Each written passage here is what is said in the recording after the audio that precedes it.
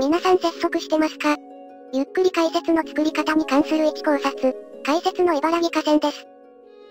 皆さん台本作ってますか？解説補佐の姫街道畑です。ということで我々時事解説担当は久々の登場となりましたが、今回はこの二人でゆっくり解説の作り方についてご説明したいと思います。随分と唐突ですけどいきなりどうしたんですか？っていうか別にこれ時事ネタでもないと思いますけど。まあこれは正確には時事というか、ゆっくりゴシップチャンネルさんが立ち上げた企画に参加する形での動画作成です。いやその企画2ヶ月前のやつでしょ。なんで今頃になっていや当時はウプ主が色々と忙しかったもので。ああそういえば背景のゲーム買った直後でしたね。でそれ遊んでただけでしょ。まあそれも含めて色々でしたが、そのあたりも落ち着いたのと、今は盆休みなのでその間に解説しておこうかと。確かに今更感はありますが、まあやはり大手チャンネルには媚びを打っておかないと。それは重要。それに、最近はまたゆっくり解説動画の収益剥奪祭りが開催されてますし。そうなんですよね。なぜかうちのチャンネルは今のところ無事なんですが、いつやられてもおかしくないですからね。最近は運営費の異議申し立てのやり方が変わって、自分で動画作っていることを証明する動画を事務局に提出することになってるそうです。逆に言えば、運営はその辺を疑って収益止めてるってことですかね。お前本当に自分で動画作ってんのか証拠見せろみたいな。現状はその可能性が高そうですね。なので、先手を打ってここでそのあたりを説明しておけば、運営に誤解される可能性は減るのではないかと。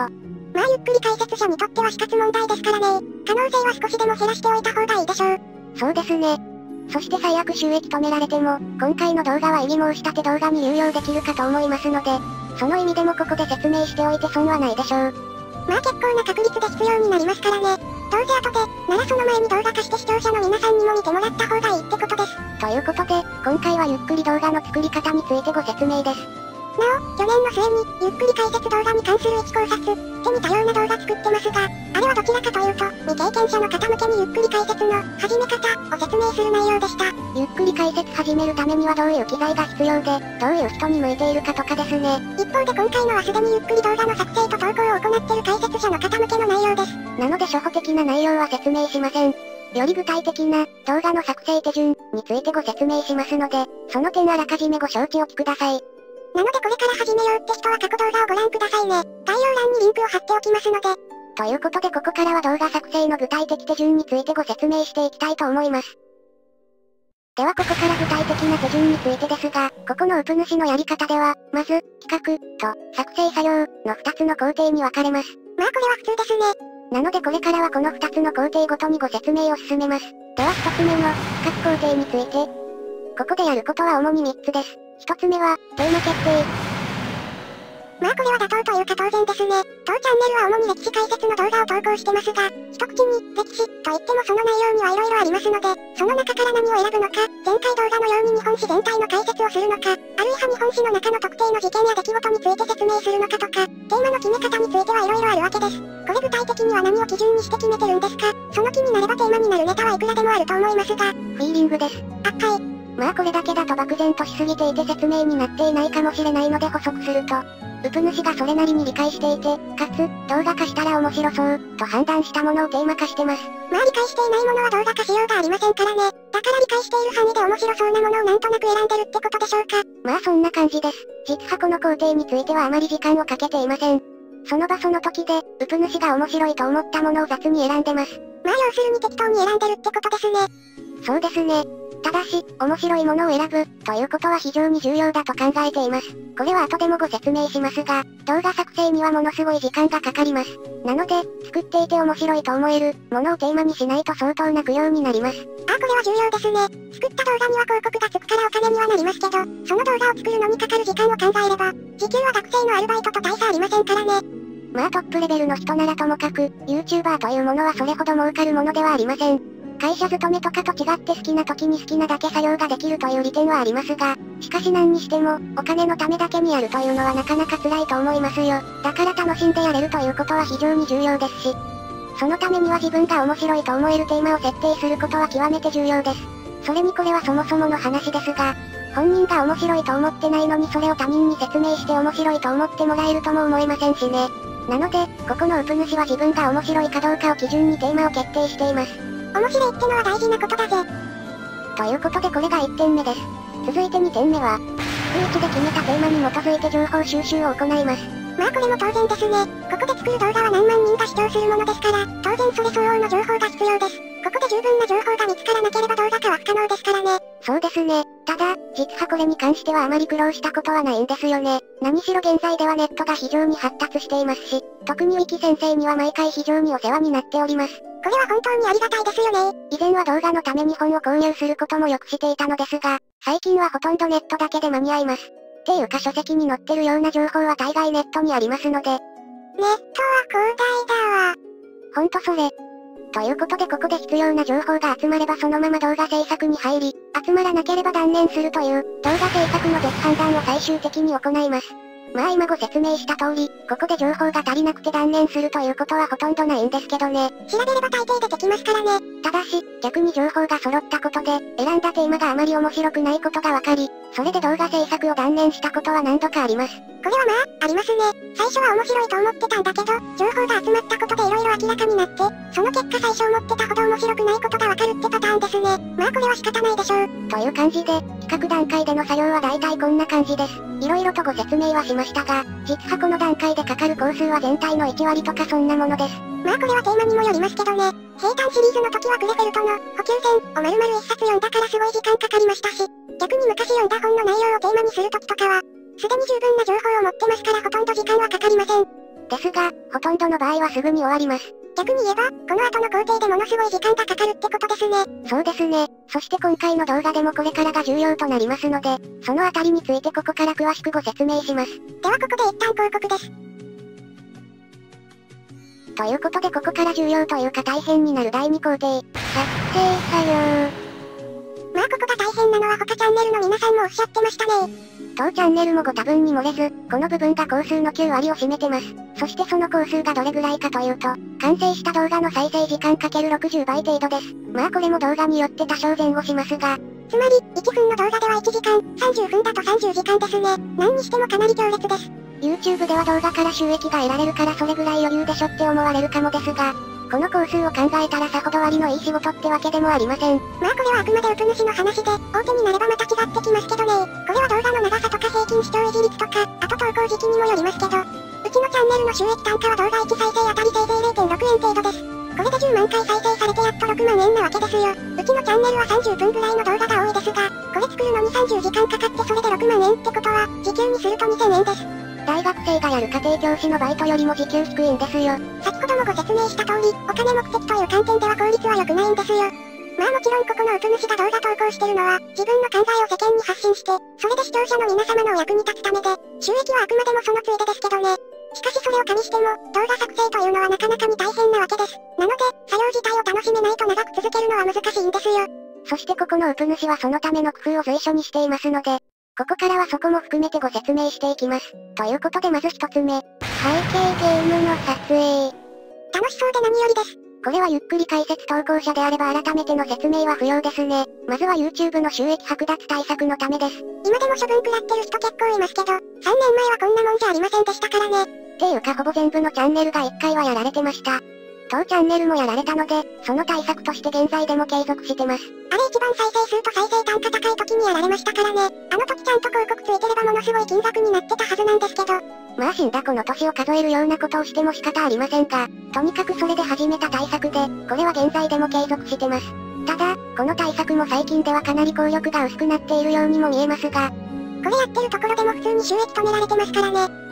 逆に、うちのチャンネルではたまに背景なしで動画投稿してますけど、最近の収益剥奪祭りには巻き込まれてません。なので収益剥奪対策としては微妙だと思ってますが、しかし最近はそれとは別に、視聴者の皆様を退屈させない工夫の一つとして実施しています。まあ先ほどもご説明した通り、うちのチャンネルの動画は長いですからね。しかも内容が解説、それも歴史とか軍事の解説ってお堅いですし、それなりに工夫しないと途中で離脱されますから。だから背景のゲームをコンテンツの一部にして、それを視聴者の皆さんに見てもらうようにしているのです。でも背景で関係ないものが動いてたら邪魔になりませんか確かに動画の内容と関係なければ邪魔になりますが、なら動画の内容と関係のあるものにすればいいんですよ。ああなるほど。例えば平坦の説明であれば、重たい資材を担いだ大型トラックが山道を走る動画にするとか、海軍の動画なら海戦のゲームを背景にするとか、そういう工夫をすれば違和感がなくなる上に、場合によっては背景のゲームを使って説明を行うことも可能です。大国と戦争して負けたら街ごと全部破壊されますよとかですね。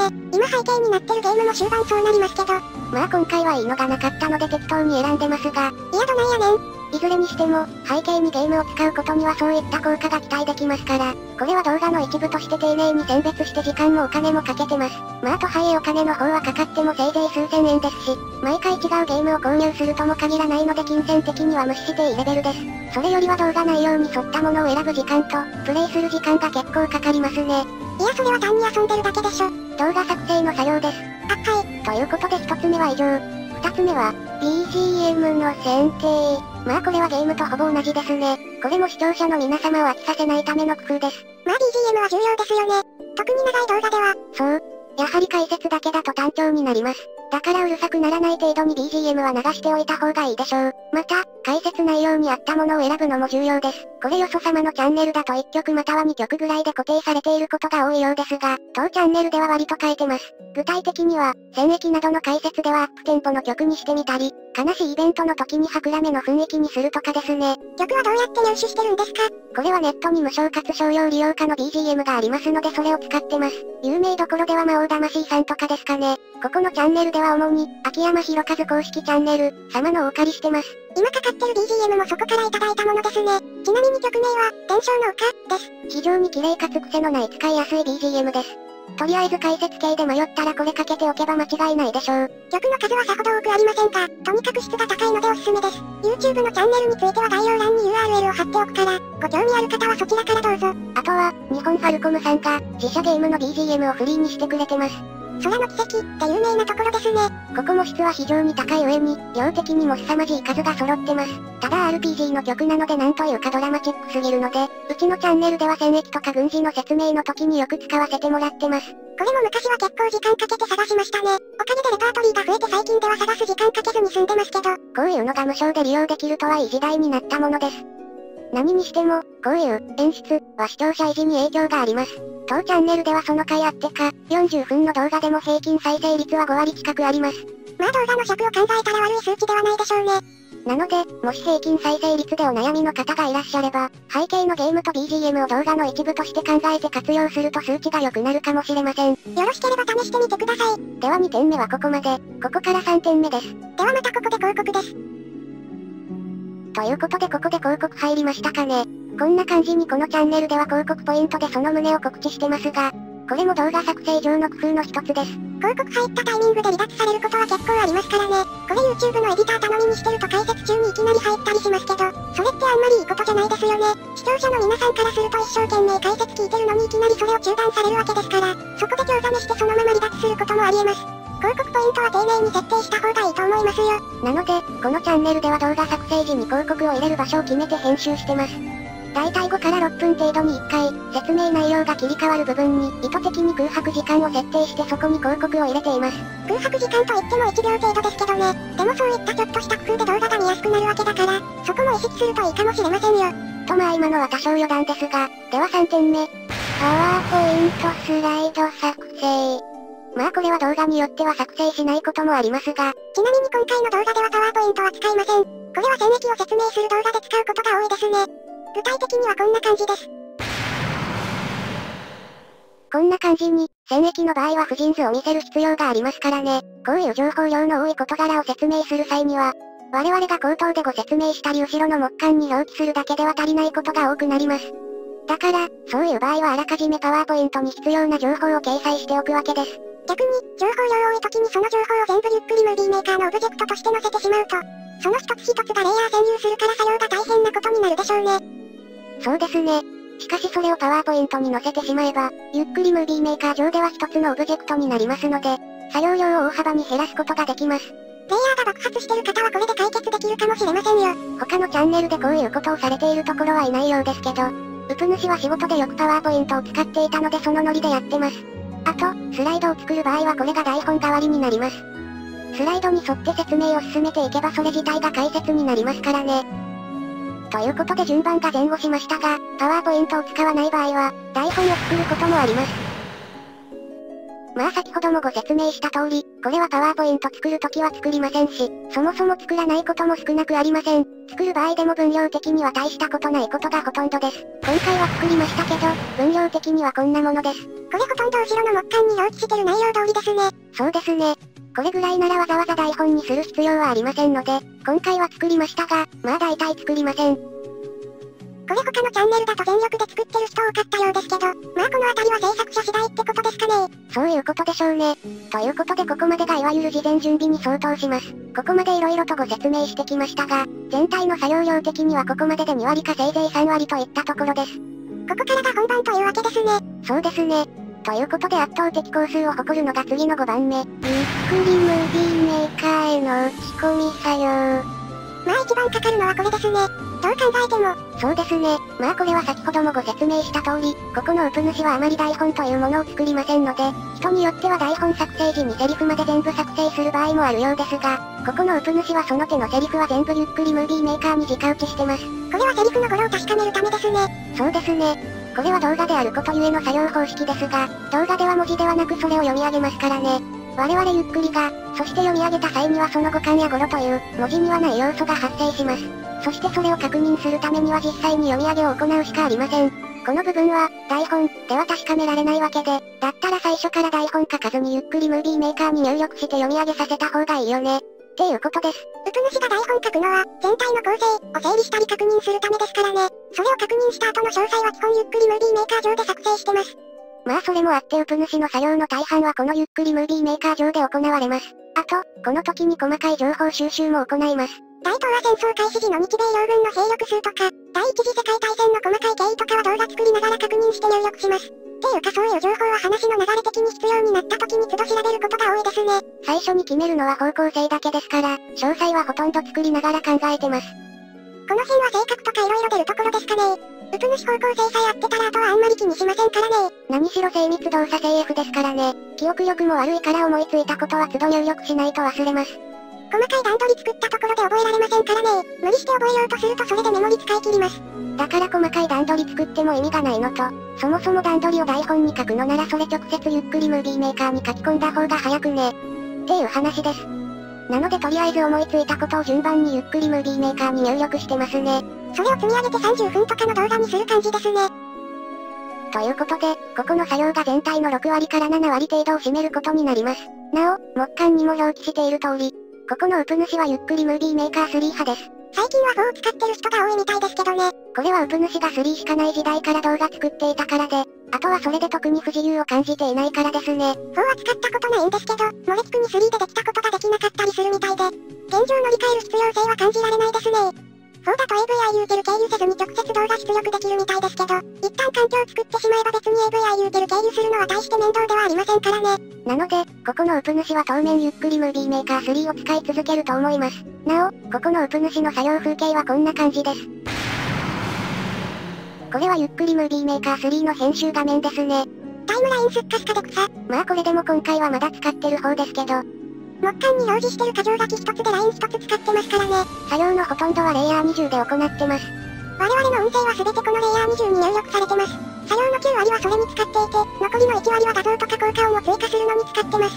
演出の類はほぼ使わないっていうか使えないので、タイムラインはこんなスッカスカになるわけですよ。にもかかわらず、他のチャンネルより動画作成速度が遅いここのウプ主。各解説動画は演出じゃなくて解説内容で勝負するものだから。なお、ウプ主の PC は4画面モニタ出力させてますが、動画編集時はうち1画面、4K モニターを丸々ゆっくりムービーメーカーで使ってます。そして残りの3画面は資料を表示したり、YouTube 立ち上げて動画見ながら作業してます。モニタの設置状況はこんな感じですね。スマホで撮ったのであまり綺麗ではありませんがそこはご容赦を。上段に65インチの 4K モニター1台。下段に43インチのフル HD モニター3台の4台構成です。このサイズになるとパソコン用のモニターはないので普通のテレビ使ってますけどね。こんなことするのはここのウプ主ぐらいってことなんでしょうね。リフレッシュレートが 60Hz しかないからガチゲーマーの方にはおすすめできませんが、しかしこれだと資料を確認しながら編集したり、YouTube 見ながら編集もできますので非常に快適ですよ。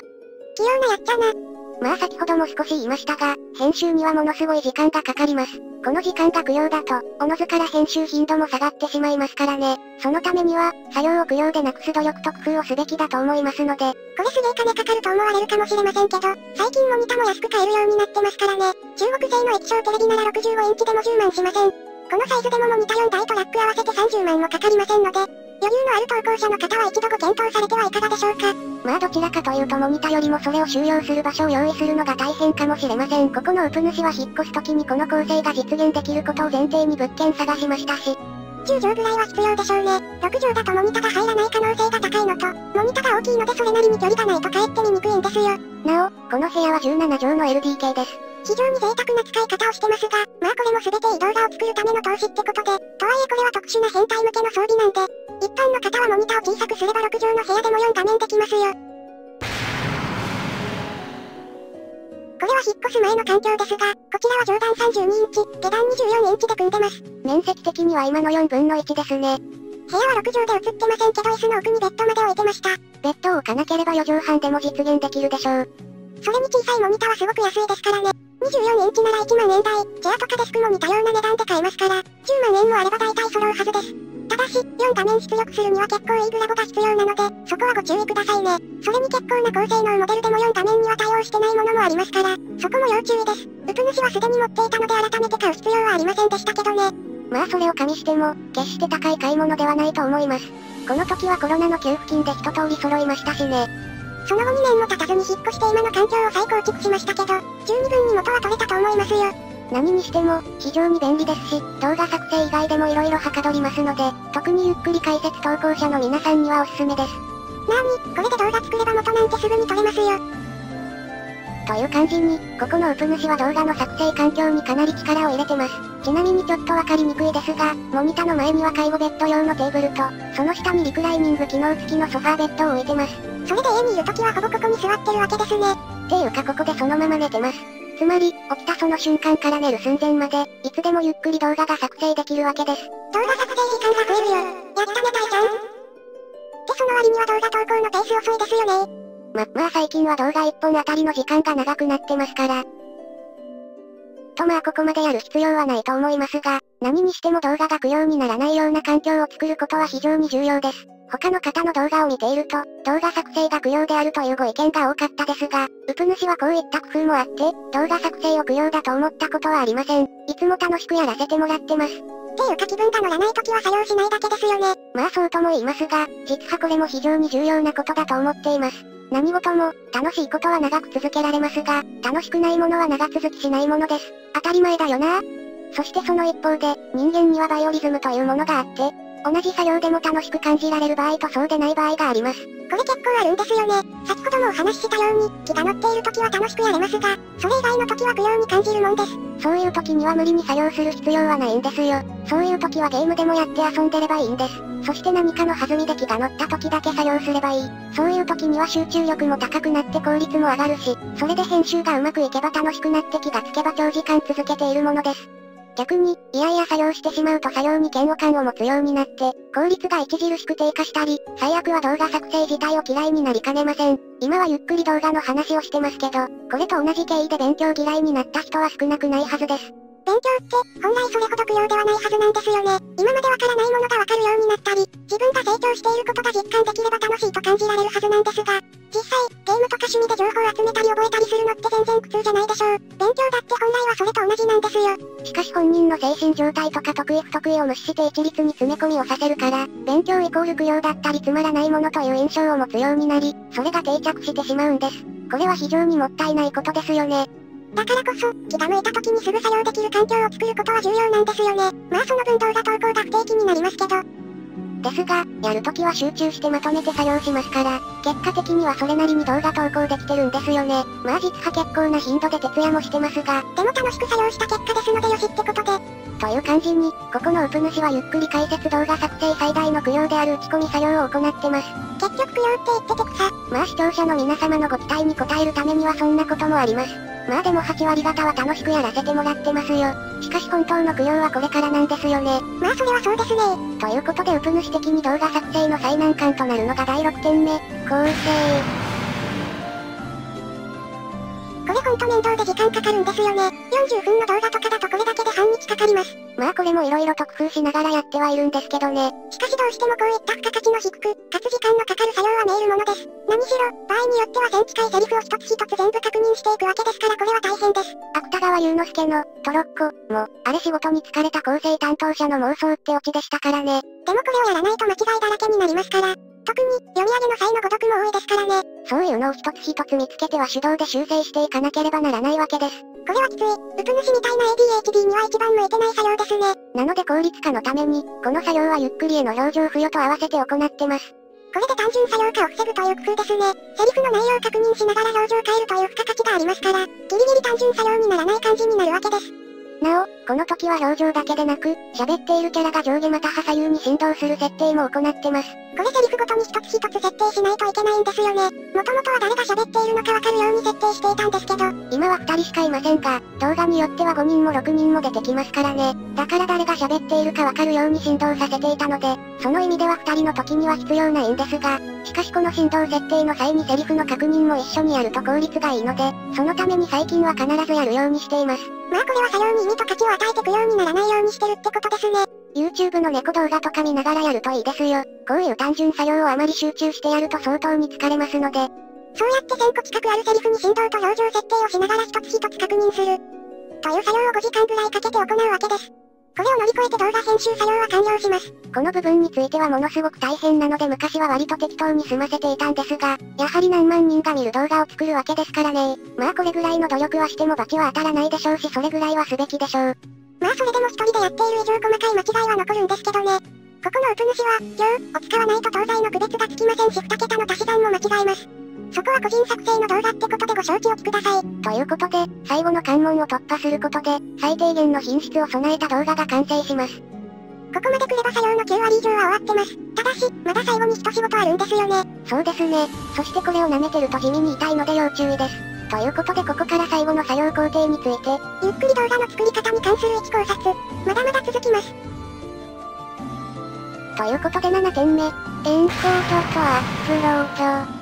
まあこれはパソコンの性能によるところ大なんですけどね。新しいのなら早いんですが、古いパソコンだと激烈に時間がかかります。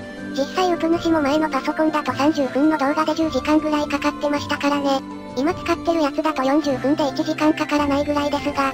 まあでも冷静に考えると、エンコード時間ってそこまで重要じゃないんですよね。毎日動画作ってるとかならともかく、ここのウプ主みたいに早くて学習投稿とかなら別に時間かかっても問題ありませんからね。時間かかるなら寝てる間にでもエンコードさせればいいだけの話です。まあ遅いよりは早い方がいいには決まってますけど。なので、円弧時間短縮するためだけにパソコンを買い替える必要性は薄いかと。ただ、故障とかで買い替えるときには、ちょっと奮発していいのを買うと幸せになれるかもしれません。エンコードの速さは CPU の性能に比例しますからね。それかいいグラボを指してるか。まあどちらも高性能にするとお金はかかります。そしてエンコードが終わってもまだ終わりではありません。あとは、意外に YouTube にアップロードするのに時間かかることもあるから要注意なんですよね。厳密にはアップロードではなく、著作権の確認作業に異常な時間がかかることがあるんですよ。金曜の夕方とか夜とかに多いですねこれは。普通なら1分とかで終わるんですけど、たまに5時間ぐらいかかることがあります。ここのウプ主、金曜の19時に動画公開することが多いんですけど、その直前に動画アップロードして失敗したことが何度かあるんですよね。著作権の審査に5時間かかって日付変わりましたみたいな。動画を公開するタイミングは非常に重要です。最初の1時間は最もアクセスが多いですからね。それを最も視聴率の高い金曜の夜に設定するのか、それとも平日の深夜に設定するのかで視聴回数は大きく変わります。そう思う人が多いから、金曜の夕方は混むんでしょうね。動画を公開する曜日と時間は結構重要ですので、意識してみるといいと思いますよ。ということで、エンコードした動画を YouTube にアップして公開すれば、これで動画の作成作業は全て完了です。これで終わりなんですか？サムネとかは作らなくていいんですか？それなんですが、実はここのウプ主はサムネを個別に作ったことが一度もありません。全部動画のスクリーンショットをサムネにしています。それも多くの場合はタイトルが表示されている部分を使ってますので、サムネ作成は1分で終わります。サムネはものすごく重要っていう人はものすごく多いんですけど、実はここのウプ主はあんまりそれ実感できてないんですよね。まあでもここのチャンネルインプレッションのクリック率かなり低いですからね。公開直後でも10%を超えることはほとんどありません。だいたい6%ぐらいですよねいつも。これ多分ものすごく低いと思います。この辺はなかなか難しいですね。かといって流行りのサムネにしても、これはこれで他のチャンネルと被ります。なのでここのウプ主はあえて武骨なサムネを使っていて、それをもって他チャンネルとの差別化を図っています。まあそれでクリック率が下がっていたら世話ないんですが、まあこのチャンネルはそもそも一般受けを狙うものではありませんし、良くも悪くも他のチャンネルと違うことが差別化であり売りでもあるので、しばらくはこのまま行くつもりです。ということで、長くなりましたが今回はここまでです。最後までお付き合いいただきありがとうございました。今回はいつもに増してマニアックと言いますか対象者が絞られる内容でしたが、この動画の内容が他のゆっくり解説投稿者の皆様のお役に立ちましたら幸いです。ゆっくり動画作ってる人はみんな同僚者というか仲間ですからね。最近は収益剥奪祭りやら商標登録問題やらで色々とありましたが、そんな時に同僚者が連携すれば対応もしやすくなるでしょう。大げさに言えば、組合、みたいなものがあるといいと思うんですよね。例えば、現在も明らかに不当というか AI の誤動作によるゆっくり動画の収益剥奪が行われています。現状は剥奪された人が個別にそのことを動画として取り上げていますが、それだけではなく、ゆっくり動画投稿者が連携して収益剥奪を取り上げれば、その影響力は個人規模での活動よりも相当に大きくなるはずです。ゆっくり解説者が一斉に収益剥奪の動画をアップしだしたらすごく目立ちますからね。YouTube の運営だって無視できなくなるかもしれません。例のゆずは事件もそれで問題として認知されたわけですし、YouTuber の情報発信能力というのは結構大きいんですよ。これが何人か集まって一つの方向性で情報を発信すれば、総合的な影響力は相当なものになるはずです。なので、今回のようにゆっくり解説者たちが一つのテーマについて動画を作成する、ということは非常に有意義というか有効であると考えています。まあそれは大げさにしても、今回みたいな情報共有だけでも結構得るものはありましたからね。ああよそのチャンネルではこうやって動画作ってるんだみたいな。なのでまずはその恩返しとして、今回はこの動画を公開させていただきました。発起人のゆっくりゴシップチャンネルさんには感謝申し上げます。それでは。強いって？一体どんな気持ちですか？